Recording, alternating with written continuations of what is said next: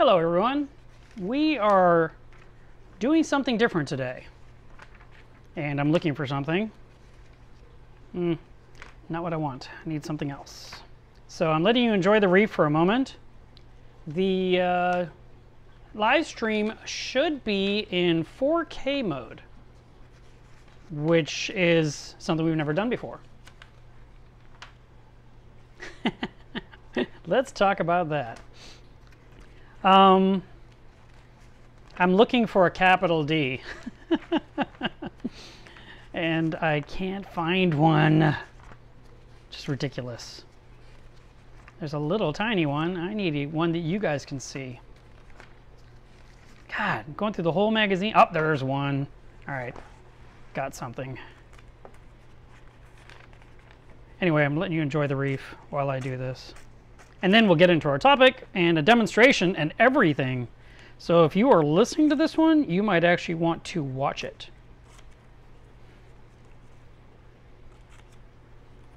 Okay, I'm almost ready. So this silly thing I'm doing is just for giggles, but I wanted to do it.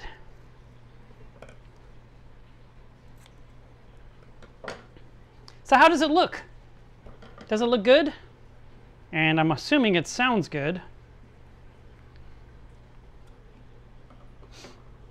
I see a lot of you saying hello. I'm not ignoring you, I promise. Okay, let's do this.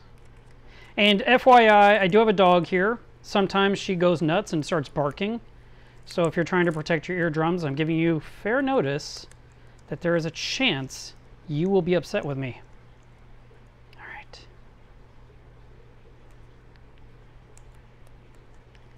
That should work.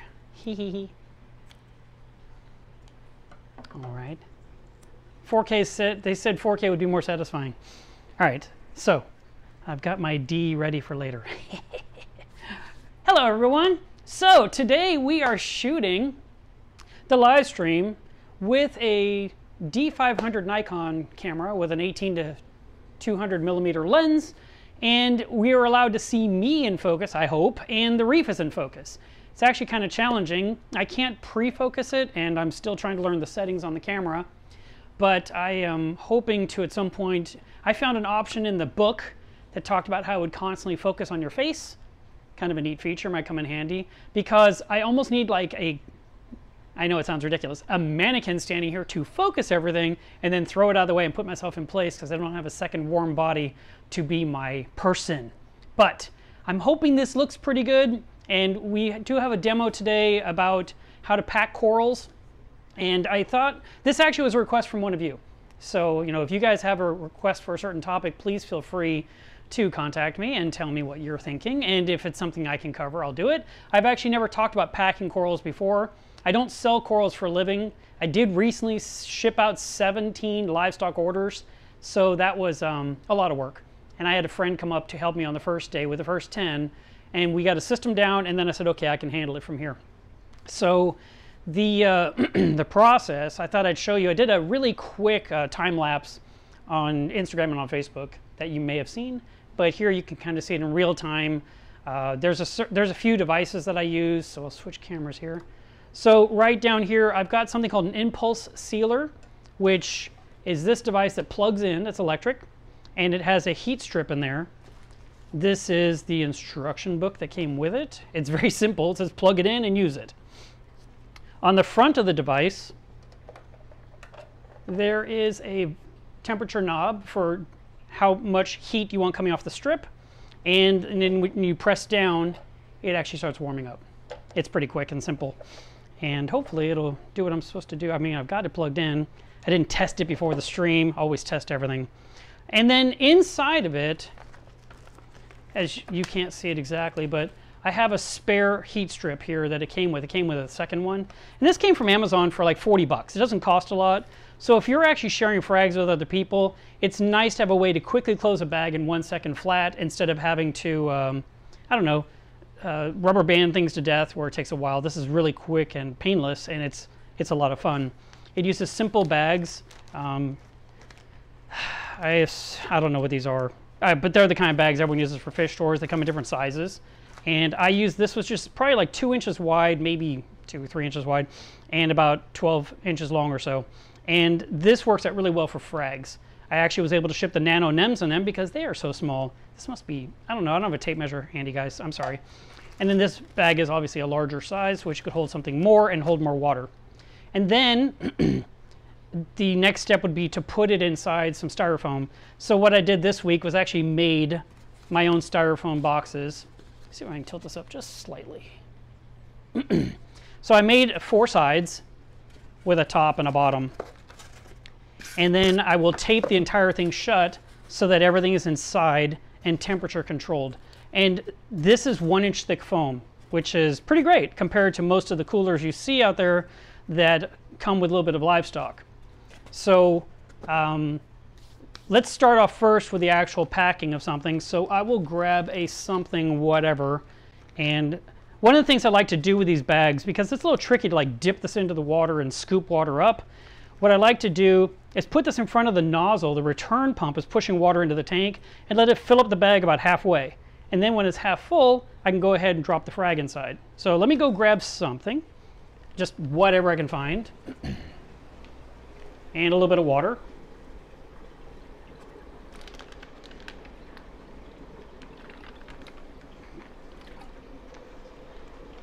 Do I have anything handy? How about an empty snail shell? Would anything work? How about a Majano? Anyone want a Majano? I've got those.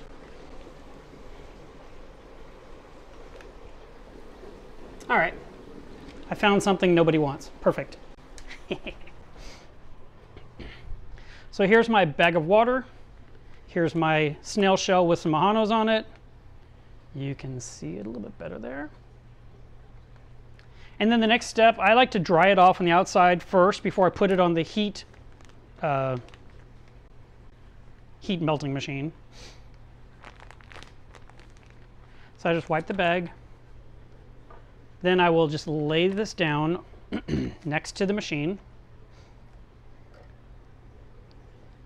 And I will press down, let go, lift it up, move it over half an inch, press down, lift up. And now I've got it double sealed. Hopefully this doesn't spill water out everywhere. See, it worked. So that is super nice. And then what you can do next is double bag it, put it inside a second bag, or if you want, which is easier, and what I did, I took all my bags and I put them inside the larger bag, fold the top over so that it was out of my way, twisted it, and stuck a rubber band on the top just as an extra, so I'm not relying only on the heat sealing for this because I was shipping it.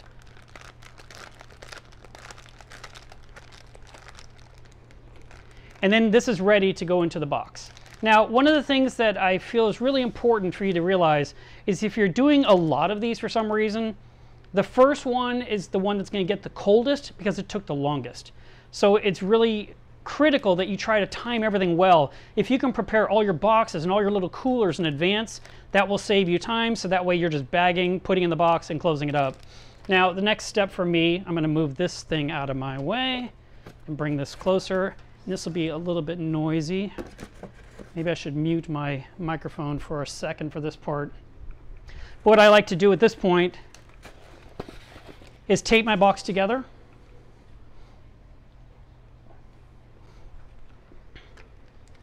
So I'll hit mute.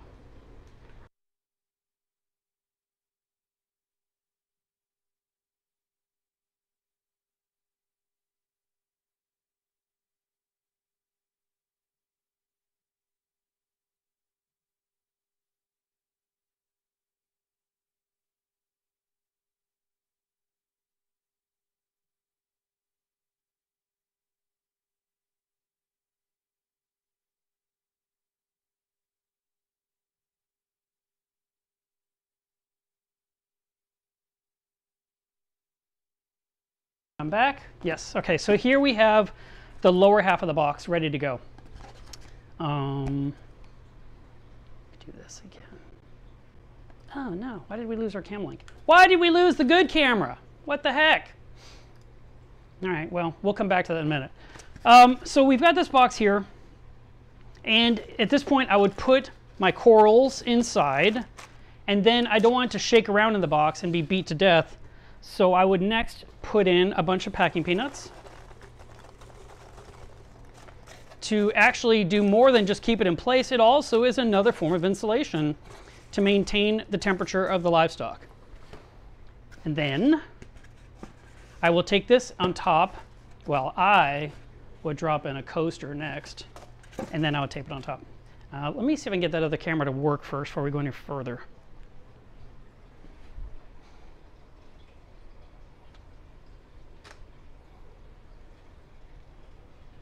That was weird. It just basically turned itself off for no good reason. All right, so we'll see what happens here. All right, so now uh, the next step that I would want to emphasize, especially this time of year when it's 90 to 100 degrees outside, is to consider your temperature where you are and the temperature of the destination it's getting to. And so you may need to actually put a cold pack inside here, a very small frozen block that goes inside with the corals to keep the temperature okay. If you don't do that, you'll end up with you know basically a 100 degree box getting there, even though it's been insulated and everything started at 78 degrees, 80 degrees. But the longer it sits inside the cooler, the longer it sits in the back of a truck, the longer it sits in a warehouse or distribution center, all that heat will gradually get in, which is one of the reasons why when I'm doing these boxes, I tape every seam shut so no air can leak in or out. It also helps keep any moisture inside if there were to be a small leak. But I like to completely seal the box so that no airflow moves. Now, if it's winter and you're trying to ship this stuff, then you're going to use something called a heat pack. And you've probably heard of hot hands, which is little packets that you would like shake up and then put inside your pockets. And then when you're walking down the street, your hands are in, inside your pockets of your jacket and your hands are nice and toasty warm because of hot hands, you can use the hot hands inside your little cooler as well. What I like to do in that situation is grab something like newspaper or brown packing paper or something and I wrap, I, first I heat up the hot hand. So it takes about 10 minutes or so to completely warm up. You tear open the package, you take it, you shake this kind of uh, uh, media that's inside that's some kind of a chemical and it warms up and it needs air to do that. So if you just take it, tear it open, and put it in instantly, it didn't warm up and it's a sealed container, not enough air to do anything. So you got to give it about 10 minutes to warm up. Once it's warm, you can wrap it. And the reason we wrap it in something and then you tape it on the underside of the lid of your box is so it doesn't just sit directly on the bag and warm the bag up really badly. We want to just create enough heat in the box so that the temperature doesn't drop while it's sitting at FedEx or wherever you're going um, for the duration. And it'll last six, eight hours or so until it's completely dissipated. So it's a good starting point for winter shipments. For summer, like I said, you want the little small ice packs. If you buy any livestock online, a lot of times it'll come with an ice pack. Don't throw them away. Throw them in the freezer and save them for the day you need them yourself. And then you've got something you can put in. And again, wrap it a little bit, tape it to the inside of the lid, and set it down inside. I, I've seen people do some of the craziest things. Like they will take one of these things, they've taped the box shut, and then for some reason, I don't know why, they put the ice pack on the top of the outside of the box, put a piece of tape on there, put in the big box and ship it. That does absolutely no good. It has to be inside the box, underneath the lid, preferably. And that way you're adding the coolness during the summer or you're adding the heat during the winter. Super important thing to do. My best recommendation is don't ship anything in the summer, don't ship anything in the winter. Always aim for spring and for fall when the temperatures are mild. When the temperature outside is like 70 degrees or so, that is a much better scenario because that way you've got the ability to uh, provide the best chance for success in getting what you're shipping to the other person. And another thing is that I've seen people do, and it just boggles my mind, they will take their bagged item, oh, just pretend I took the one out of here, and they'll just put it in any old box, just a plastic bag in a box, and they'll tape it shut and they'll ship it. And it's not even kept to, from moving in the box, it's just bouncing around in there. It's a terrible, terrible plan.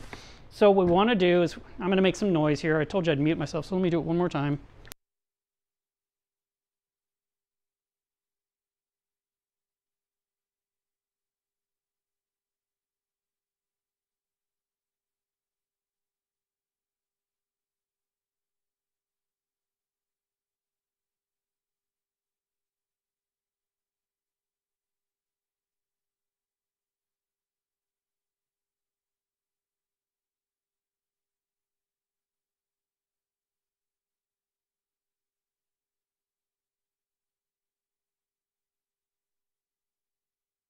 Sealed, I can go ahead and I can drop it directly into this box. It is the exact same size, so it won't move or shift. And then when I close it, it just is ready to go. And now you get some noise. Okay. I didn't want to blast you guys with that for every single piece of tape I pulled, but for these three, you get to hear it. Now this guy is ready to go. If you were to uh, get this done at like 4 in the afternoon, that would be ideal. 4 to 5 o'clock is the best time of, uh, to pack a coral and then get it to FedEx right before 6, ship it overnight. No priority mail, no two or three days stuff. Like I said, I shipped 17 of these and three of the 17 did not get there on time. Now, one of them was the customer gave me the wrong address, and that is completely his fault, and I'm, he felt bad. And the point is, if you're ordering something online, give us the right address. I mean, come on. You have one job. I have so many jobs. You have one. I need the correct address. So make sure you have the right address. Double check with the customer that you're trying to send, or your friend that you're trying to send to make sure everything's correct. And then I recommend overnight shipping. There's two things you can do with overnight. You can either ship it directly to their door overnight, which uh, is more convenient for them, or you can ship it to the nearest FedEx Kinko's location near them where they can pick it up at 9 o'clock in the morning. So you drop it off right before 6. The guy throws on his truck at 6 o'clock or 6.15 or whatever, and by 9 a.m. it's at a Kinko's near them where they can drive up and get it at 9.01 and they can go straight home with their new livestock. The other thing I want to highly recommend is that you never, ever, ever ship for a Friday arrival or a Saturday. Forget the weekends because weekends are when everything goes wrong. It is so important that you ship um, where it can get there the next day. And if something goes wrong, there's a chance you'll get an extra day out of the deal. But if you ship for a Friday arrival because you think, oh, well, that works better for me, it doesn't show up, it probably won't come again until Monday. And by then, everything's completely lost. And especially in the summer, especially the, mid, the middle of winter. So we want to do everything we can to do uh, a shipment earlier in the week. I've never received a, a night, I said it wrong. I've never received a livestock order near a weekend, I intentionally place orders to arrive on Tuesday, Wednesday, or Thursday. And I highly recommend that to you. Now these boxes here, with my account, I was able to ship these 10 by 10 by 7 boxes that weighed about 4 pounds and it cost about 50 bucks a box to ship it overnight. So that gives you an idea of what it costs for shipping and you may have to pay more. It may be even higher. So don't be surprised if you get an 80 or $90 bill that is not some ripoff. That is exactly what they charge. I've asked other coral vendors, how do you get such good rates? And they said, we don't. so, but I mean, that's what they do. They basically wrap it up in the price of the, the livestock. And, you know, they charge a little bit. So um, when you get that $35 overnight shipping and then they do a $10 box fee, that's almost at that $50 price I was describing to you. And uh, so that does that. That is for shipping. Now, what if you are traveling? What if you are moving across the state or across another part of the nation and you want to take your livestock with you? What if you're on vacation and you go into a store and you see something you want and you're going to be going home that day? How can you get it home safely in your luggage, in your vehicle, uh, in your carry on? You know, what are the different techniques? So I thought we could talk about that as well today. Um, it is so warm today. I mean, like it's 96 outside, and I say in here it's probably, I don't know, 72, and I'm just like, so, um, if you want to bring home livestock from somewhere far away, where it's going to take you five or six hours to get home, you do not want to just throw the bag on the back seat and hope for the best. You don't want to put in your cup holder near the air conditioner vent blowing on it. You don't want the sun to bake on it. Uh, think about this whenever you go to get livestock at the fish store, how did they get it? Just think about that for a minute. And if you don't know how they get it, ask them how they got their livestock. Because I guarantee you it came in a styrofoam lined cardboard box that was freighted overnight so it would get there intact in one piece. And then they unpack, and even as they unpack, some things are dead. So there's no 100% guarantee. And you have to go into that knowing you may not succeed at this it may not work out. It may. Uh, like I said, out of the 17 I shipped, uh, 14 were perfect. And one was sent to the wrong place, which took a whole extra day, and then two went somewhere into the FedEx world and got stuck for a day, and then finally was delivered and they died. It just didn't work. It's too long. You want to keep your livestock in water from in those bags of water maybe 12 hours.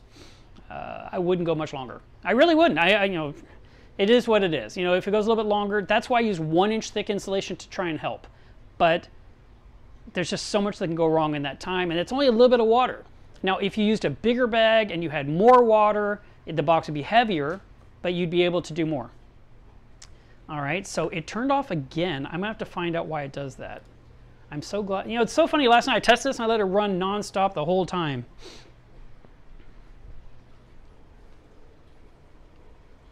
I wonder if it's a like some kind of a you haven't touched the shutter in 10 seconds in 10 minutes. that might be it.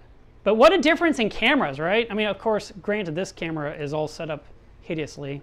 Me see if I can clean that up just a little bit.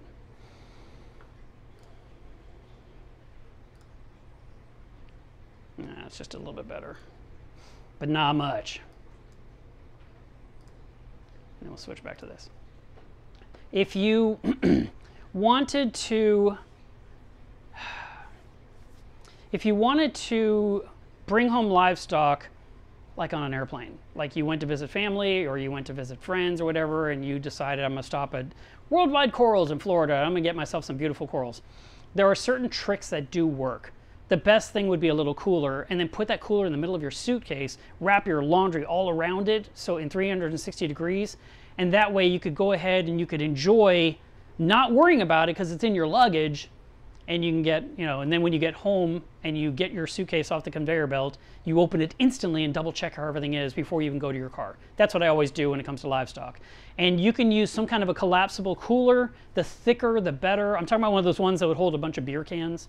Um, and they're soft. This is a really bad example of one. This is a super soft, very, very thin bag. This would not be ideal. I mean, would it help better than zero? Yes but I'd much rather have one that's thicker. I used to have a really cool one. I got it at Macna many years ago. And then one day the zipper just rusted and I couldn't use it ever again. And that thing was awesome. It was really big. It held a couple of six packs at least. And uh, it had pockets in there and it had a big strap to carry it. And it was very, very thick. And it did a great job. And I could put in a lot, I could bring home 15, 20 frags inside my suitcase. Now, if you can't do that, do you have room to squeeze one of these inside your suitcase? Is there any chance that one of these styrofoam things would fit in there?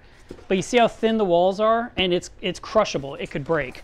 And if it does crush or, um, you know, because your suitcase may not be rock hard, then you may have some leakage inside your aquarium. So it's nice to have something, anything.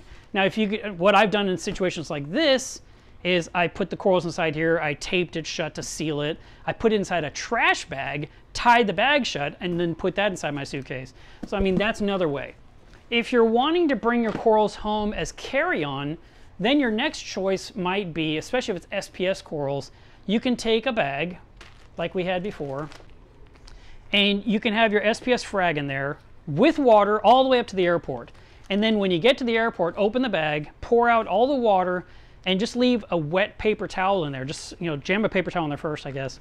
And then, because this bag's so small. And then when you've got a wet paper towel wrapped around it, then you can just take this thing and you can tie it or put a knot in it or rubber band it or however you want to close it. And you can put in your carry-on because there's no liquid in there. All it is is a damp or no, it's a wet paper towel with SPS corals. This doesn't work with all of them, but it works with many of them. Bird's nest won't do well, but Acropora should. And I've done that before. And I would either keep it inside my pocket of my jacket or I had it inside my camera bag that I carry on the plane with me. And I came home with lots of frags that way. Uh, you could probably do the wet paper towel for other things like zoanthids and mushrooms and so forth. But um, that's when you really have no other choice and you're just super worried about TSA. Now, if you were trying to come home with a fish, that's a whole other argument with TSA, and they may cooperate, they may not. The, uh, the thing is, is that if they can hold up the bag and they can see the fish swimming around, that should indicate to them that it's water and that it's safe. But I recently saw someone post how TSA actually took a water sample out to measure it while the fish was still swimming around, which is insane to me. But the other choice is TSA could say, no, you can't take it on the plane, it's too much water. And that would suck. I remember uh, years ago I bought two eels at Macna, and I had my camera bag that hangs on my hip, and I had uh, my big backpack. And so in my camera bag, I put in two eels. it was like 10 pounds of water. And I got to the airport and I told the lady at the counter, I said, look, I have two eels with me. And she just looked at me and I'm like, I want to know if you guys are going to give me grief or if I can just take this on the plane without any words. And she said, I don't know. And I knew that airline, they would charge you $100 at the door for some extra bag. You're allowed one carry on, not two. And I had my backpack, plus I had that bag. So I just said, we'll just have to do what we have to do. And she said, well, I can't guarantee anything. I said, you know what? How much does it cost to put this in my suitcase and make the bag too heavy? And she said, $25. And I took the entire thing off me and I just put it inside the suitcase and I sealed it and I paid 25 extra. And then when I got home, I immediately, you know, got the, the uh, suitcase off the conveyor belt, opened it up, saw some leakage. The bags were still full of water, which was good. And, uh, you know, I, I held it right side up and, you know, put it in my car. And I came home and I had those eels for several years. So that was really, really cool. But I just didn't want to take a chance with TSA, and I definitely didn't want to take a chance with the airline giving me any kind of problems. So I went that route. But you will have to choose what works best for you. Some people have gone to the trouble of using big coolers and they will then put a hole in the top and they will put an air stone in there with a battery powered bubbler because they're driving across the state and they try to keep the livestock alive in their car or they use power inverters to run air pumps and run small heaters things like that. That is another way to try and do it. The uh, trick is keeping everything oxygenated for as long as possible, checking on them frequently throughout the trip and making sure they're not getting too hot, uh, that you're not losing water for some reason, nothing's leaking or breaking, and just general health of the animals.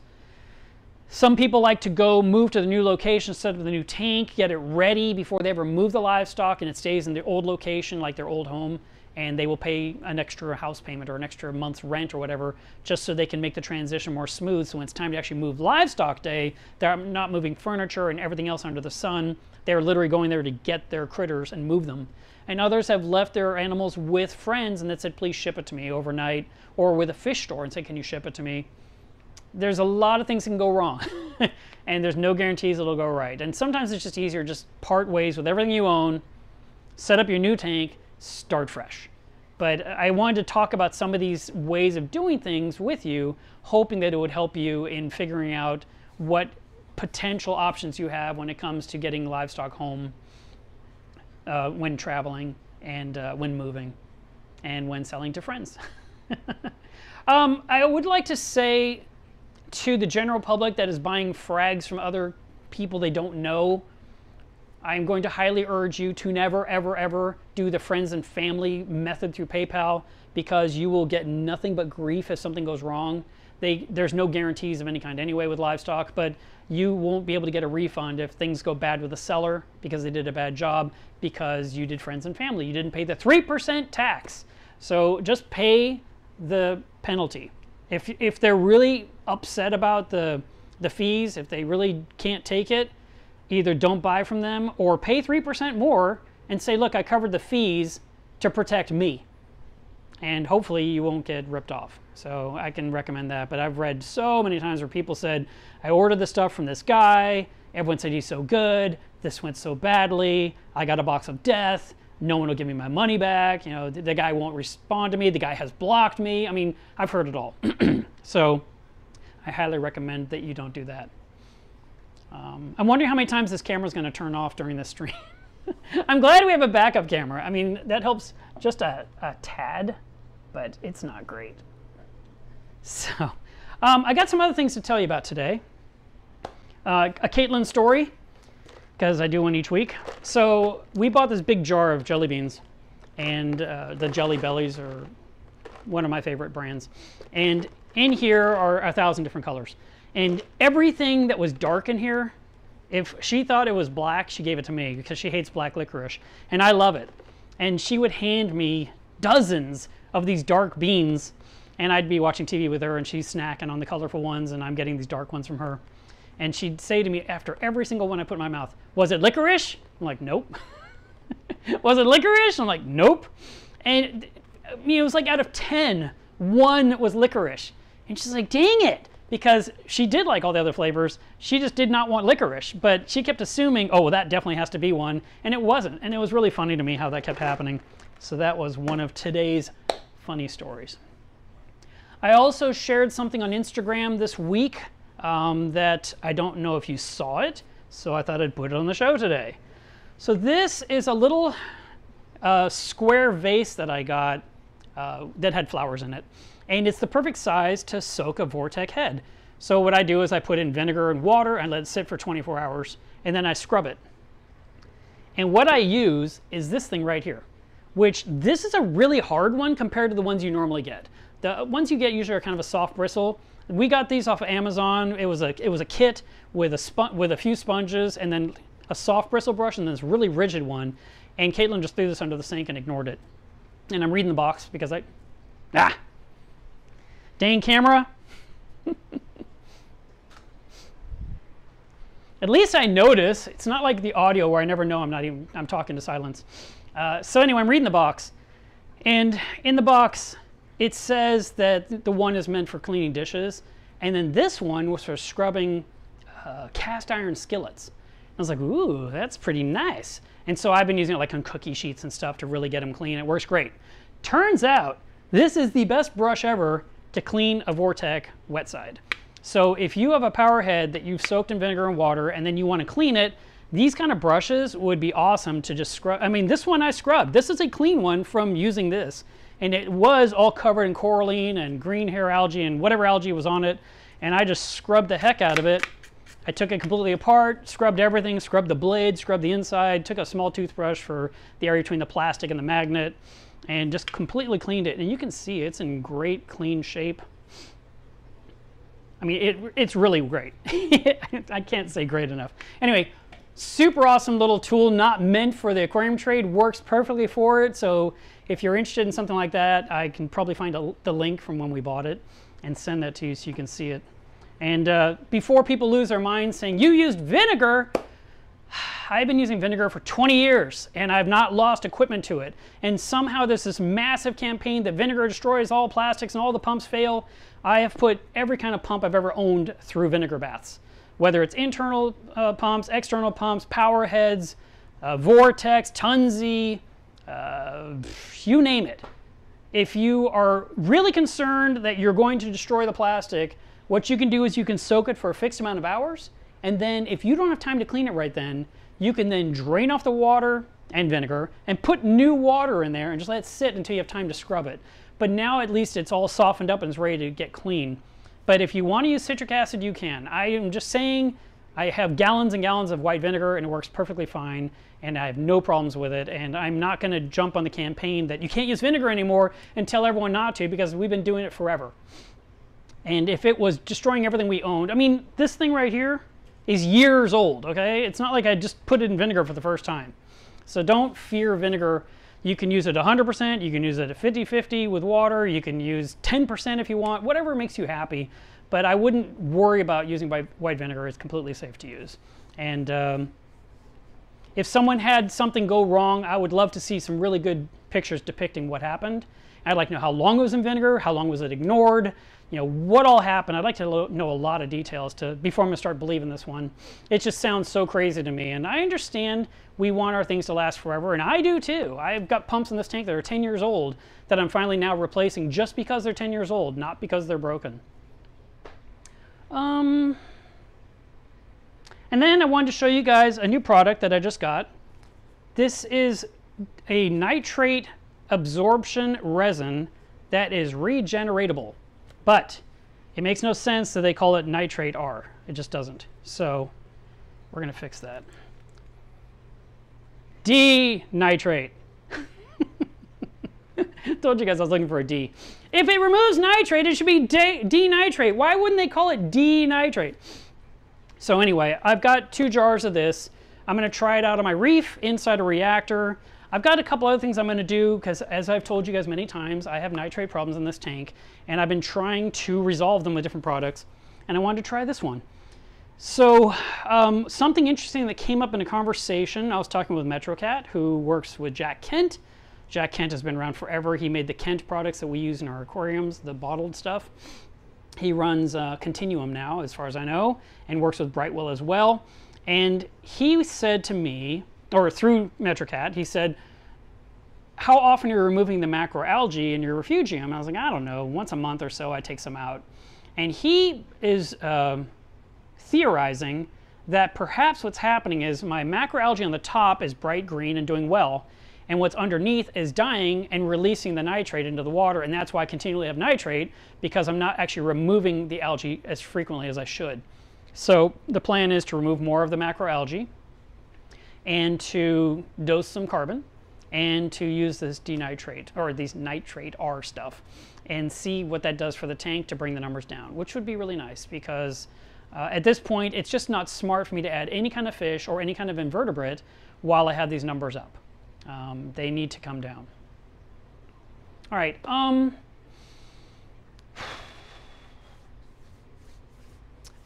I only talked about shipping corals because that's typical what we buy. We don't normally buy fish from other people online. If someone's selling fish online, they should know exactly how to ship them safely. And so that doesn't really touch most of you, so it makes no sense to go into that. But if you're taking fish home from a faraway city, for example, I live in Fort Worth, San Antonio is about four and a half, five hours away. If I was down in a fish store in San Antonio and wanted to come home with a fish, I wouldn't just take a, a, bagged fish home because there's a good chance it won't survive that long a drive with just regular air. But if the fish store offers oxygen, O2 that they can pump into the bag, not just compressed air, but actual uh, medical grade oxygen, that would make me feel a lot more secure in getting my fish home safely. Otherwise, I just wouldn't buy it and I would just wait till I'm home and hopefully find it in a local store. But, um, and that's why so often when you receive big bags with fish in them, half the bag is water and half of it's compressed air. That is to provide plenty of oxygen and a, a decent body of water for the fish. And those fish weren't fed for 24 hours before they shipped. So there's a lot of thought that goes into moving fish across the nation. And they definitely were shipped and are shipped in styrofoam coolers inside cardboard boxes overnight instant shipping, no priority mail, no, no ground shipping, nothing like that. It needs to get there. It needs to get there now. So that is, I think, everything I wanted to talk about today. I had a feeling we might have problems with the camera, so I didn't come up with something super long. I would like to answer some of your questions. I'm going to probably have to keep running over there and turning the camera back on because that's what it keeps doing. And, and, I'll have to find out why it's doing that because it's probably some setting. This camera has a thousand settings I don't know anything about. But I like that I'm in focus and the reef is in focus. You can see all the flaws now. You can and that's okay because uh, in a couple of weeks, Dwayne's going to be here. We're going to start tearing the reef down to get a whole bunch of stuff out and declutter and put cute things in there to start with a new, fresh amount of growth. And um, the things that, for example, this acro right here, the bottom piece, that's completely dead. That was the Drew's acro. On top of it is an actual branch that survived that I had on the sand for all this time, and I put it up there two days ago. Underneath it was a different acro called a blueberry acro, and when I reached into the tank, I barely brushed it, and the whole darn thing just went snap and fell. And so I put that in the back on top of the blue tort that died. So I'm using these dead corals as, as placeholders right now for other corals, just temporarily until I can get things reset in the tank. And you may have noticed there's a white spot right there. That is a mysterious amount of RTN happening on the lime in the sky. Don't know why it's doing it. Can't really come up with a cause other than I guess it doesn't like nitrate, but I don't know. I mean, I don't know why it's happening. There's nothing to correlate. There's nothing to explain it. So I just like, all right, and I just left it alone. I don't touch it. I let what happens happens. I trim out what I can later on, and um, move on with my life. So now you guys can see the tank a lot better. I actually, I'm very happy with it. And by the way, the lighting is set with a very specific profile on the skies to make this work on the camera. But the camera does give me a lot of flexibility to change uh, kelvins and all and and uh,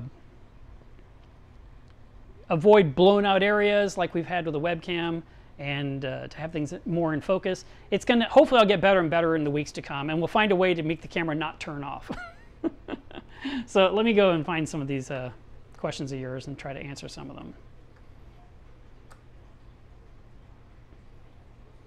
Uh, a lot of my uh, friends this weekend are at Reef at uh, Aquashella in Orlando right now, and I did not go. Kind of am sad I didn't go, but I was not ready to go, so I did not.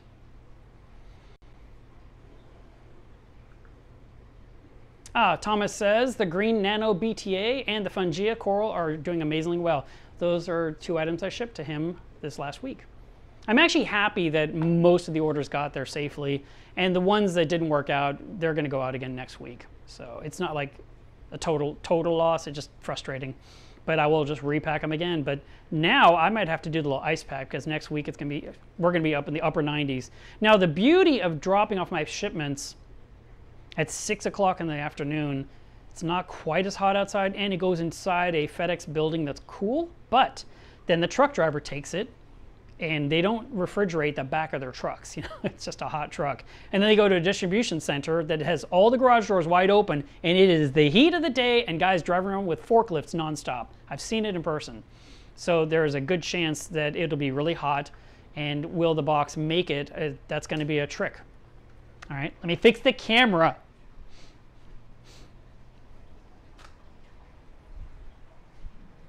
Thank you for putting up with my uh, new gear.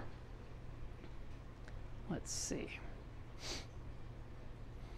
Ah, Jason, you're absolutely right. The impulse sealer would be great for your cookies. And as long as nothing touches and smashes the frosting, right?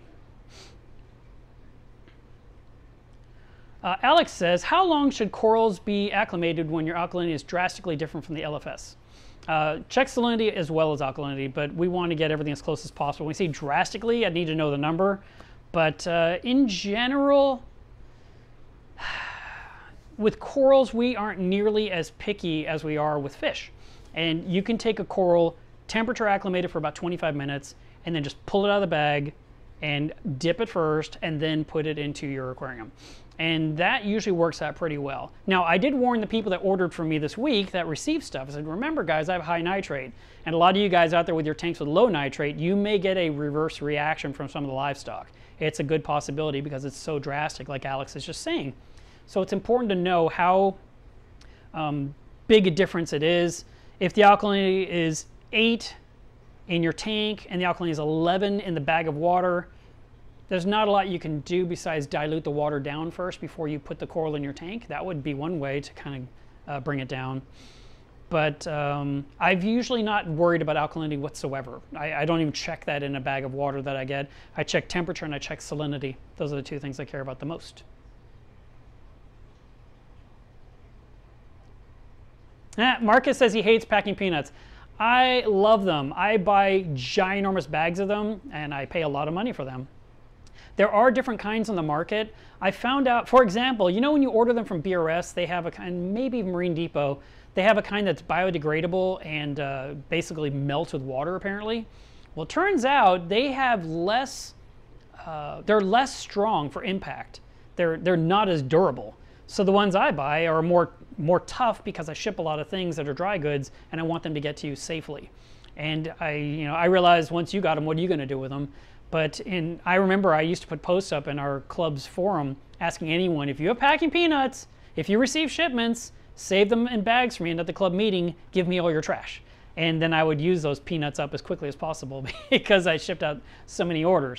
But uh, no, I just, I have no, I actually love them a lot. They, they're very practical and I use them constantly. I, I'm very cautious with my packing. If something gets to the customer broken, I'm usually really shocked. I'm very surprised. I have to think of how hard did that box get hit to, to break through everything and shatter something made of acrylic inside. Uh, Mike says the hot hands need oxygen and the box needs to have a hole poked in it. No, I disagree. I totally disagree. Activate the hot hands to get it started, and then after the 10 minutes or so, put inside and seal the box there was one of our, Mike, you work with Eric in, in, the moderator forum, and Eric had a box shipped to him with a hole poked in it, and everything got icy cold inside, and he lost all his livestock. So you can go argue with him about that. But no, we do not poke holes in coolers. We want the coolers to contain all the temperature, as well as if there's a bag breakage, we don't want the water leaking out the hole. So I disagree. Let's see. Um, Some people, okay, Adam's saying uh, something about the Saltwater Scammers group on Facebook about shipping corals inside cups, inside these little coral carriers. There's a lot of things like that that exist. They're really convenient. I've seen people use the uh, urine specimen cups, and they're you know they're more more rigid and more durable versus trusting a plastic bag. Um, I've received things that way. I've brought things home that way. I had a collection of them. I finally got rid of half of them, but I, am not a big fan of them. They they can actually leak. Um, I've put that inside a bag and closed the bag to keep my stuff dry. But um, one of the techniques I've seen used for shipping frags would be to take the frag plug that the coral is on and press it into a piece of styrofoam that's the right size that then will either fit your bag or will fit in the, the little cup and they will then put a rubber band around the styrofoam and the base of the frag plug to hold it together and then when you get the cup you're holding the cup and you can see the frag pointing down but nothing's touching it just the water but it's it's even less water i think in my um, in my example bag that i used when i had the anemone in there and about this much water inside the bag it weighed about seven ounces. So I had about seven ounces of water in there. I don't know how many ounces are inside those little tiny cups that uh, hold uh, milliliters. I don't know. but the um, it's a little bit more water and I feel a little bit better. I'd be happier with even more water, but I have to be realistic. You can only ship so much water. Jim says, what is the best way, safest way to add a bag of new sand to the tank? Well, my trick is to take the bag, and wipe it off on the outside. Get a wet towel and just wipe down the bag so it's clean of whatever's on the outside of the plastic. And then I would turn off the pumps in the tank so there's no flow, move the corals out of the way that are right here in the front, and I would cut the top of the bag open and I would invert the bag and put it down to the bottom and lift the bag up and let the sand just spread out. That's how I would do it. Now, when you're putting sand into an existing reef tank, you're doing it to add more sand, obviously. We don't want to smother the sand bed with a giant amount of new sand what you're basically wanting to do is you're wanting to put in about a half an inch of new sand on top of the existing sand bed. If you go an inch above, an inch and a half above, all that bacteria will smother and die in that substrate that it was buried under the new sand.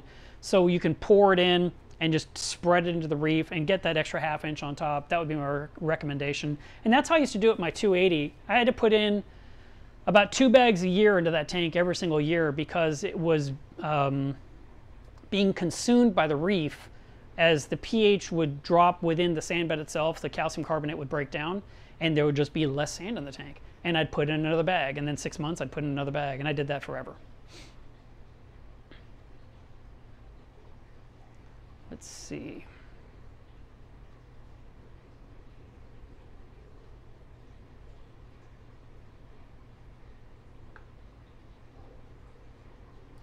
Jim, this isn't a background, it's my reef tank.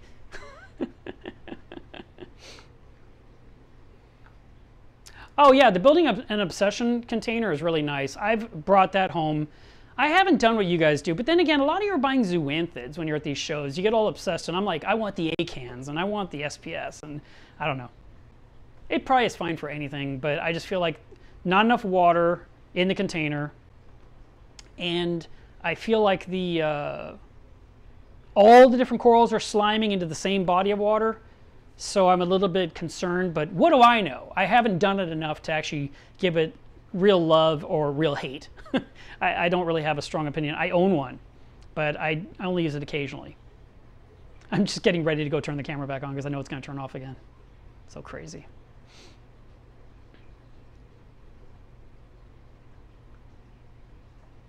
I have a story. I should save the story for when the camera turns off. um, so the Herm says, I had a coral come with me on a plane. TSA opened the container and I had to put something in close to the water to see if it changed color. They closed and let me take it on the plane. So they, it must have been one of those containers. And yeah, they want to verify what, that it's really water, not nitroglycerin or something like that.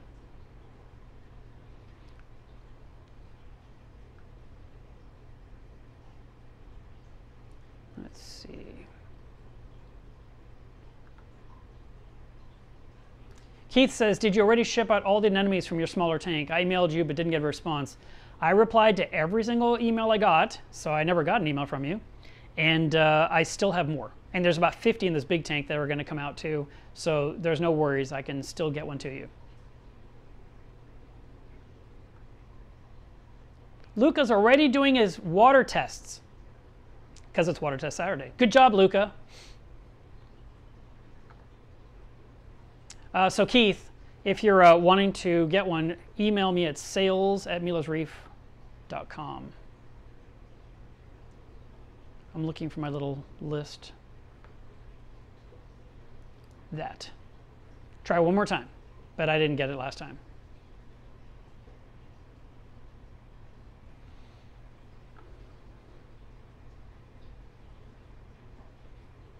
Uh, M. Ruskin says, what are your thoughts on biopellets? I ran them for a few years, worked fine. I, you just gotta make sure that the reactor is always moving.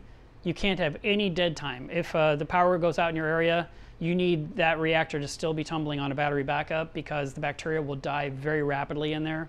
And you don't want that to then pump back into your system when the power is restored. You need to keep those guys tumbling. That's the only downside. Um, other than that, you have to clean the bubble plate at the top because it'll clog up with sponge growth and bacteria growth and fungus and stuff and whatever that stuff is and we want to make sure water is flowing through it. And as that gets clogged up, less water moves through it. All right. So now I can tell you guys my story. At one of the uh, trips that I was on at Amacna, they had a big mountain of uh, the salt buckets. It was like Seachem. And there was like a pyramid of salt buckets. And they were all empty. It was just to look cool on the stage or in, or in the showroom floor. And so at the end of the show, I thought, I got to bring home all these corals. How am I going to do it? And I said, Can I have one of your buckets? And they're like, Yeah, sure. So I took this bucket. This is a five gallon, or, you know, a five gallon bucket, a regular bucket of salt. And I lined it with bubble wrap. And I put all my corals in there. And I put newspaper on the bottom. And I had the lid and I sealed it. And I went straight to the airport. And I uh, came to TSA with this bucket. Now, here's a weird thing about TSA. TSA is so picky that you can't have any kind of water, can't have water bottles, can't have hand sanitizer, can't have a pocket knife, you know, you can't have anything, right? But when you're coming back from Macna, Aquashella, Reefapalooza, uh, the one in Denver, all these different shows, right? TSA gets all excited. What did you buy? I want to see it. and they get upset if you don't hand them bags of water. They're like, oh, you didn't buy anything? It's like, I thought you'd take it away. And they're like, no, no, we love this. This is awesome. And they're just like shoving bags of water through the conveyor for hours for every single flight. It's, it's so funny. But anyway, I get to TSA. I've got this bucket. And they're like, what's in there? I said, corals from all over the world. And they're like, uh huh, you need to open the bucket. So I did. And they're looking in there and they're taking the bags out. They're looking at each one. They're holding up to the light. They're looking at this. What's this? What's this? What's this? And they're just like, I've never seen anything like this before. I said, What? A guy with a bucket full of corals? Come on. And they were just like, I don't know. And I said, Well, look, I have a reef tank at home. I can't go all over the world, but I can put corals from all over the world in my aquarium at home and enjoy them there. And I pulled out my business card and gave it to them. And they're like, well, we need to open up one of these bags and kind of do something. And I was like, all right, whatever. So they did. And then they put it all in, you know, they said, okay, you're good. And they were actually, it was like five guys. They all came over to look. They were all fascinated by these little fragments. And then um, when it was time to get on the plane, I had this giant bucket. You know, a bucket will not fit under your seat, and it definitely will not fit in the overhead. And I had this thing, and I just walked onto the plane. And as I'm walking in, right to the right of you is usually where first class likes to put their golf clubs and you know their, their coats and whatever. I just put my bucket there, and the stewardess saw me, the flight attendant saw me, and she said, What's that? I said, I'll get it on my way out. and I just went straight to my seat. And I didn't get yelled at. I, you know, nothing happened. But I remember her reaction was like, Why would you put that there?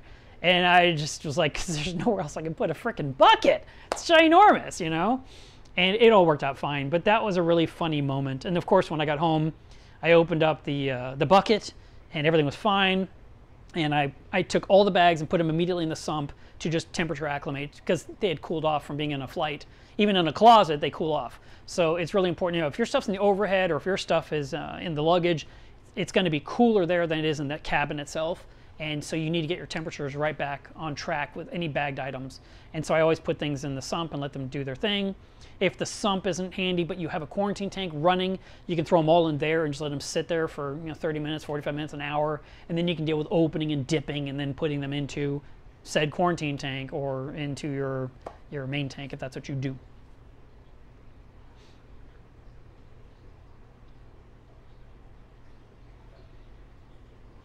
Um, Andrea, they should have contacted me. I do sell their products, but we're gonna try this. I haven't even looked inside yet. Ah! It's like little tiny dots. Look, it's in focus. Oh my God, the camera works. That's so cool. so I will have to see how I can use this. I plan to use it in the next reef reactor.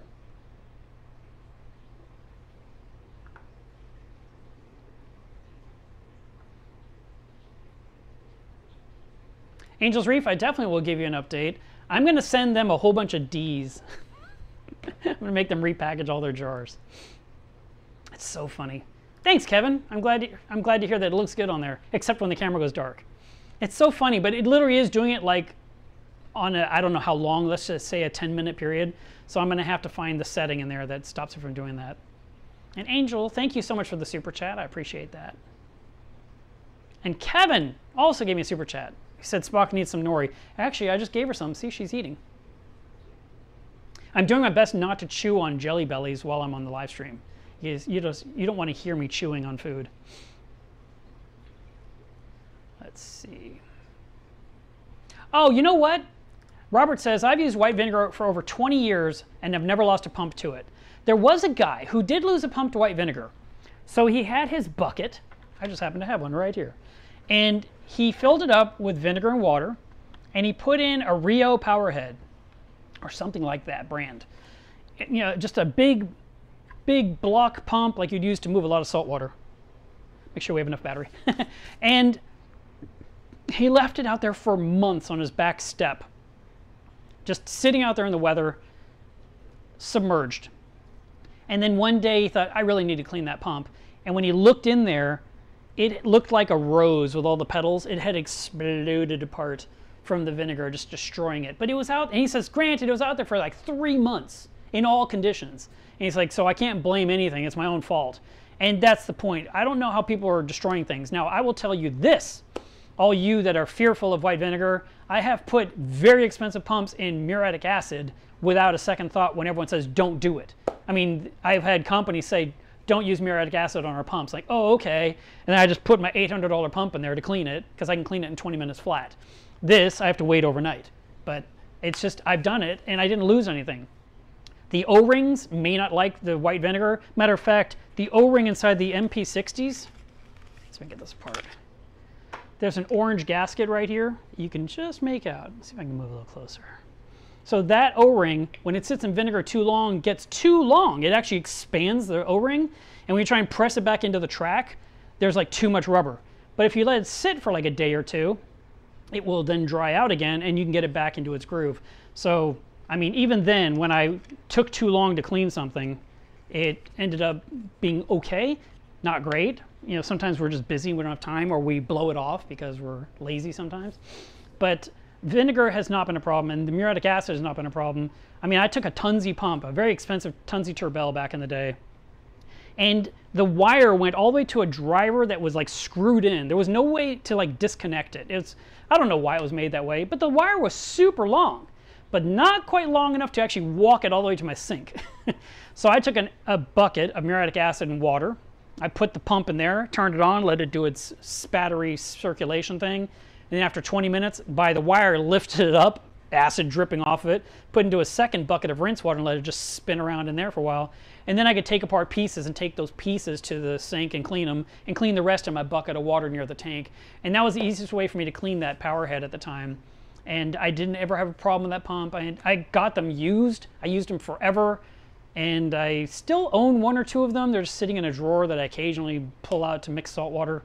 But um, yeah, so we've been using all kinds of chemicals, but I'm telling you, the fear of white vinegar that I see people posting, it, it's a little bit overrated, a little bit overblown, in my humble opinion. Oh, okay. Thank you, Marcus. He says one of those uh, little cups, the little specimen cups, holds four ounces of water. So I was putting about double in each bag. And I, some people got four little bags or five little bags, and other people got two. So it just depended on what went in their box, who they were, what they were asking for, that kind of thing.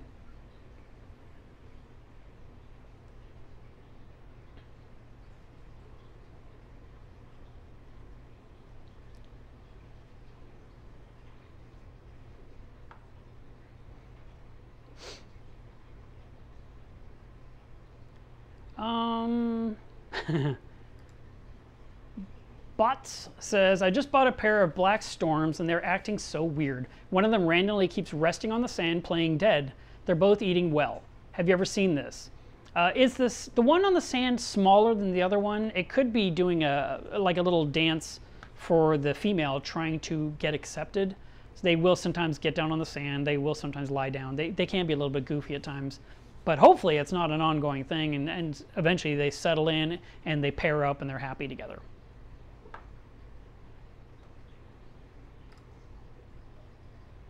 Yes, Keith, it's sales at melevsreef.com. I'll put it back on the screen for you one more time. Put it over my face.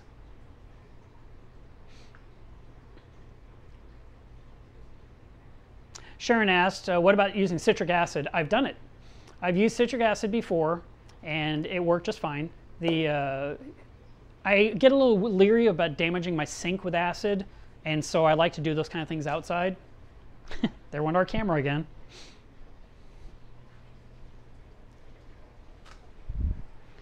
At least the camera's not overheating. At least I don't think it is. Maybe that's what it's doing. It's warm. I don't know. I'll find out after the show. I'll try to figure out what's happening. But we used it last night as a test, and I had it running for like a solid hour. And I was running on battery only. I didn't have the continuous power supply, and it stayed on the whole time. Didn't turn off once. Angelo, thank you so much for the super chat. Wow. Thank you very much. And Odile, thank you very much for the super chat as well. Um, Jim says, what is the ratio of acid to water? Uh, okay, so that's another story. it's a good thing I restarted the camera. A long time ago, I had a big barrel that I wanted to clean all the plumbing for my aquarium that I could remove. And I had these big, tall overflow boxes in my 280 gallon reef with Durso standpipes that were that tall, inch and a half pipe, covered in Aiptasia. And so I pulled the pipes out, I put them in the trash can. They're all standing at an angle. You know, I had to fill the trash can so far up, like with about 30 gallons of water to cover all the plumbing. I took my lock line, you know, like not this, but lock line, the one that looks like little black knuckles. Um, and I threw that in the barrel. I threw in power heads. I threw all kinds of stuff in there. And I just poured the muriatic acid into all the water. And that's how you're supposed to do it. You don't put the acid in and then add water because it can spatter, boil, and sting you or burn you. You always want to have the water in the container first and then gently add the acid into the water. But then what I did not do was I did not stir it. I didn't plug anything on in, in to like move the water. I just magically assumed it would mix, which it did not. And so what happened was I'm looking in the barrel at these standpipes standing in water, and that's in you know the backyard in the sunlight, and I can see the Aiptasia just like enjoying the sun. I was like, why are you not burning up in the acid? Why are you not dying and shriveling up? I don't understand. And I, uh, I so I waited longer and longer and longer. You know, normally, like I said, with muriatic acid, you put something into the water, and it will start to bubble immediately.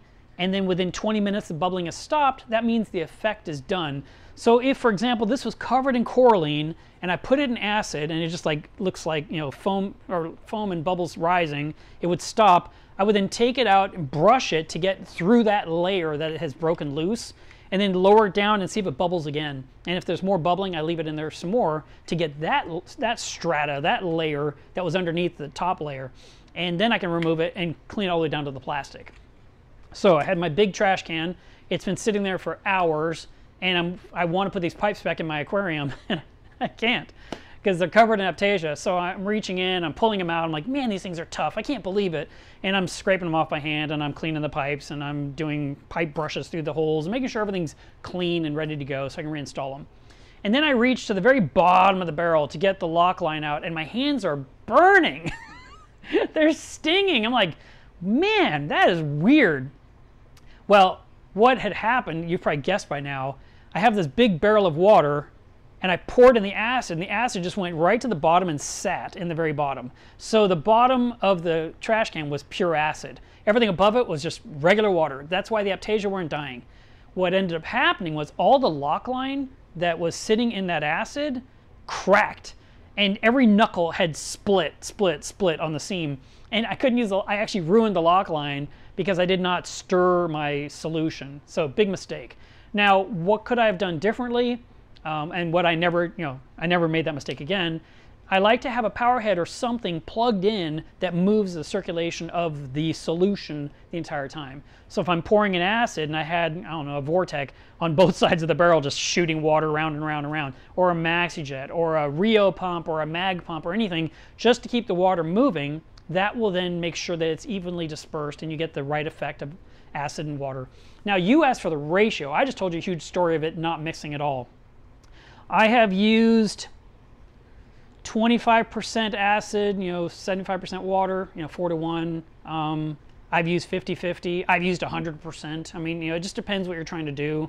Typically, I'm just kind of pouring it in. I don't really have a recipe. Like, for example, when I want to clean my protein skimmer, I would put the protein skimmer in a large bin that came from IKEA. It's this big, huge white thing that looks like it could be a sink and has no drain.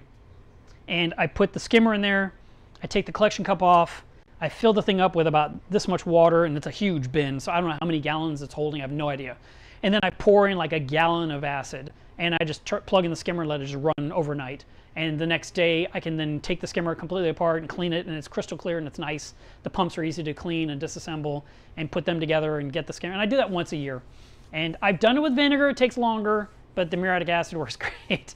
And uh, I don't just have a, I, I don't have like a real number for you, like you got to do 33% or something like that. I don't know. But um, the one thing you have to be very careful with muriatic acid is that if it spills, it can burn white spots on the concrete, or if it's near anything you care about, like your deck or your lawn, it could kill some of that or burn some of it. It can burn your skin. It can burn your face. You, you know, you want to wear eye protection. You want to wear gloves. You know, you want to constantly rinse things down, uh, and then you got to dispose of it. Now, that's the hardest part because it's acid. So where can you pour out a bunch of acid? But you could add, well, go do your homework. I am not the science channel, but I am relatively certain you can add um, baking soda to cancel out the acid and make it neutral, and then you can just pour it out anywhere along the fence line or something, or down a, a drain or something. But um, I don't want you to make a volcano, so please do your homework before you to figure out how to cancel out acid, and don't rely on Melev's Reef's channel to teach you. Because I could tell you wrong and get yelled at later, and I don't want to be yelled at. Oh, thanks, Andrea. Yeah, I appreciate you checking the time on that. I wonder what it is. And you know, the thing is, it literally turns off. There's nothing on the screen that's like overheating or some warning. But it's the first time using the camera with the stream, so we're just gonna have to see how it does. But it'd be really nice to find a way to make it just not do that and just do the stream because I like the way everything's looking. I love it. I really do.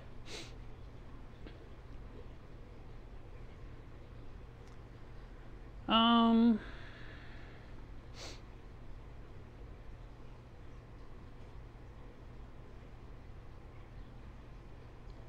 Oh, uh, Marcus is also talking about using hydrogen, like hydrogen peroxide. That's another cleaner.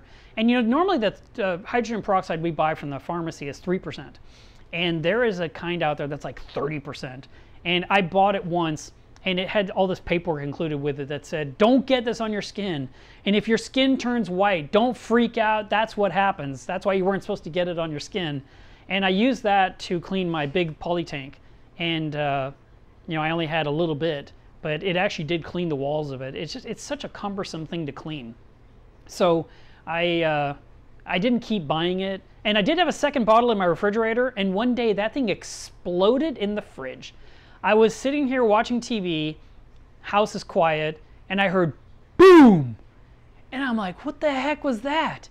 And then I look at the refrigerator, you know, and the door was shut, and I saw this weird liquid on the floor and I thought the compressor underneath had exploded and leaked out something.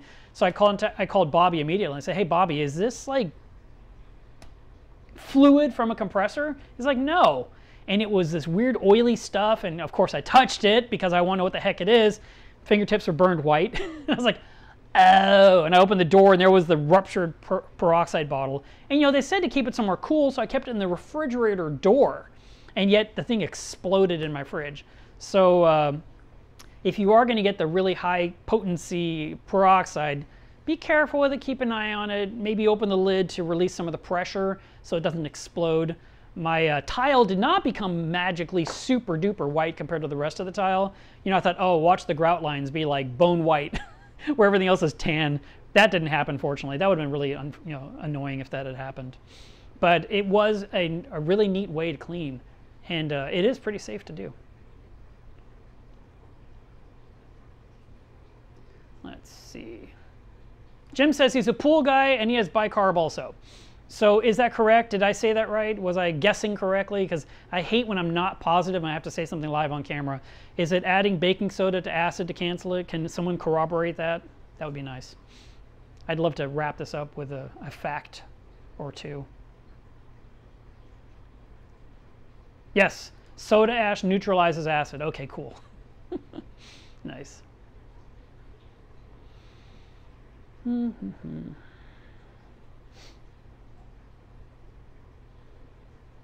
um, I'm going to answer this question, even though I know it's just someone spamming the group. Have you ever peed in your reef tank? No, I haven't. As a matter of fact, when I went scuba diving, I didn't want to pee in the ocean either. There was this cute thing that they said at the dive shop. They said, who can spell scuba? And, you know, everyone raises their hand. And he says, all right, you. And I'm like, S-C-U-B-A. And he goes, that's right. There's no P in scuba. Okay, the camera turned off. What's the time, Andrea?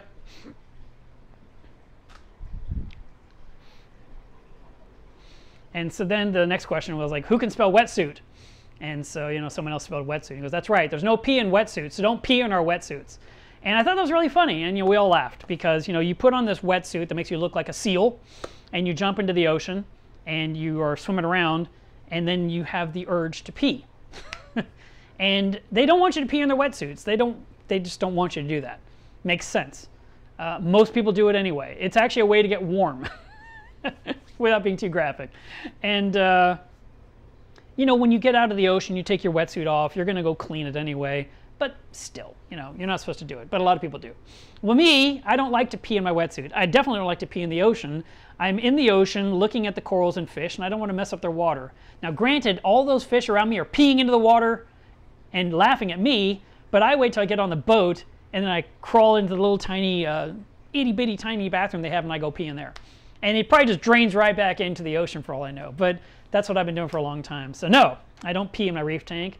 I have no need to do that. But uh, thank you for asking because it gave me a chance to talk about that.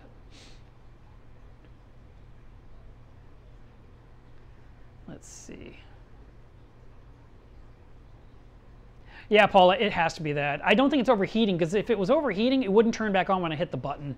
So it's got to be some kind of a timer that's happening. I've got it in video mode. I wonder if I could switch it to camera mode, if that would change something. You know, where it just stays on. I don't know. We'll figure it out though. Uh, the camera we're using is a Nikon D500.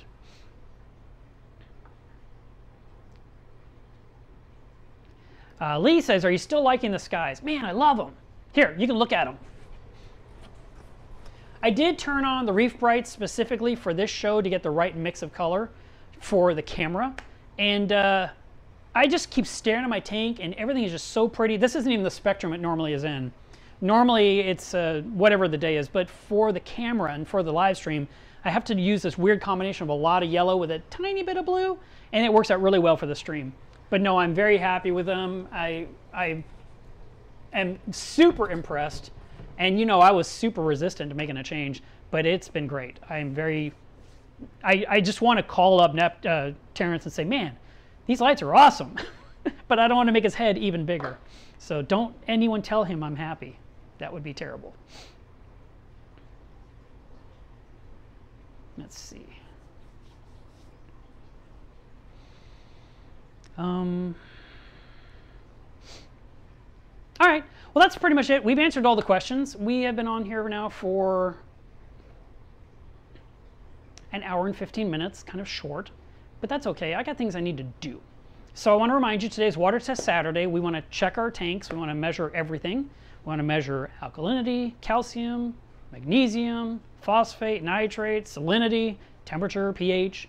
Uh, we want to know what all the things are. If you have automated systems, that's fine. Um, it's fine to have automation to tell you things, but to double check with additional equipment is really smart. If you are just trusting the pH probe and trusting the temperature probe and trusting you know the uh, the automatic tester, whatever it is you own, and not double checking, you may be doing your tank a disservice. So it's really good to verify. And uh, if you have old test kits, it's time to toss them and get new ones. Okay, you just got to have fresh things for your tank. Last week, one of the Club Melev's Reef members had a terrible accident with his tank, where his doser went crazy and dosed two liters of Nopox into his tank all at once. And the thing is, everyone's like, do a water change. Well, he could not do a water change. Number one, he didn't have any water handy, and it was a 280 gallon tank. And the other thing is that he is dealing, I think he said cancer. And so he has nothing in him to do this. And the one thing he enjoys is looking at his tank and he's watching his fish dying. I mean, it just, it was a disaster. And so everyone was offering, you know, what they could suggest. And, you know, the one thing I told him was I would, because I knew he couldn't do anything physically, he couldn't handle it. I said I would call the fish store nearest to you and tell them to bring water. And if you have a small tank, great. If you don't, um, have them bring a tank to move all your livestock into to hopefully save it. What, um, and then other people were like, Where are you? I'll bring you water. Well, he was in Ireland. and that was a little too hard for most people to do. But uh, I think he said Ireland or Scotland. It's one of those two. But regardless, it wasn't like you know down the street or something where you could just drive for an hour and bring this guy some water and help. But he was lucky he turned on every single pump he had on maximum speed. He took off the collection cup off his protein skimmer and made it do a volcano effect. He did everything he could to add air to the tank. And he ended up only losing a few small fish, but all the big fish that were lying on the sand that he was sure were dead got back up and started swimming again. So he was super lucky. And it was just unfortunate. And why did it put in two liters of this stuff? Because he had just refilled the container. It was just a coincidence of bad timing. And the group was giving him advice. And so we have a really good group, Club Melev's Reef. I would recommend that you join it if you haven't yet. A lot of people say that they've uh, been listening to this channel forever, and yet they're still not in the group. and they'll say, Oh, I've been listening to Mark's YouTube for four years, and they're just now joining the group now. The group's been around, I think we're coming up on three years. We have somewhere close to 9,000 members. They are all nice people. We have a rule that you have to be nice, or uh, you can't be there. And we, I, the reason it has to be nice is so that someone can go in there and ask a question, no matter how simplistic or dumb it may seem, and they can get an answer without being made fun of. I, I hate it when people say, well, I want to ask, but I don't want to be embarrassed. You know, I don't want to be attacked. I don't want to be told you should know this. All of us don't know everything, and all of us have to ask questions on a daily basis about everything we go through in life, including taking care of our aquariums, fixing our lawns, whatever it is we do. And so we made this group specifically to answer your questions. I am the one that actually approves each person. We have moderators to keep the peace. If there's anything that's flaring up and you're concerned, you don't have to fight back. You don't have to put on the gloves. You can just let us know and we'll handle it. We'll look at it. We'll see if there actually is a problem or if it's just a misinterpretation of how it's being read. But you know what? We keep the peace in there and we would recommend that uh, you do everything you can to maintain peace. If you're having a bad day, I tell you, don't go into the group. If you're having a bad day, go change water in your tank. Go do something productive. Go mow your lawn. You know, do something, use up your energy, or turn on your TV and or hide in the closet. Whatever it is you got to do. But uh, don't go in there looking to pick a fight because that would be the last time you're in there. Because we don't allow that. Um, and uh, other than that, I think I've updated you guys on everything. I hope that you um, enjoy these streams, that you can um, get a lot from them. That's the whole point of why I do them. Uh, Area just asked, how can we support Melev's Reef without going through Google? Are you on Patreon as well? I'm not. Um, but I don't know. We'll figure out something. There's an actual thing I've never turned on this channel. Maybe I should just force myself to do it this week and turn on the memberships. Um, it's just a thing that allows you to have like a monthly subscription that uh, YouTube offers, and I've just kind of drug my feet on it forever. I've got a friend who bugs me all the time. Turn that thing on, and I just haven't done it. So maybe I shall. Hey, Jim, thank you very much for the super chat. I appreciate that. And having a shot of Crown, it sounds like a great idea right now. All right, guys, that's it. I'm going to stop here. Um, I do hope that you. Uh, oh, I got to say one more thing. Turn these things off. If you haven't, I appreciate if you shop. Let me get away from that. I appreciate if you shop from MelevsReef.com. That is how I make a living. I, uh, I know some of you are waiting on orders because I have to build them, but anything I can just put into a box that's already on the shelf goes out rapidly. So uh, keep that in mind, and thank you for your patience. For those of you that are waiting, I am completely aware that you're waiting for your orders, and I am trying to be more productive week after week. And uh, so I look forward to one day saying I'm completely caught up. that will be amazing. But uh, for now, I, you know, you guys have been very understanding. You've understood my, what's going on in my life, and uh, you've been super supportive and super kind, and sending me all kinds of nice messages. And I read them all, and they all do touch my heart. So thank you for all of that. And uh, I hope you guys have a nice weekend. Bye.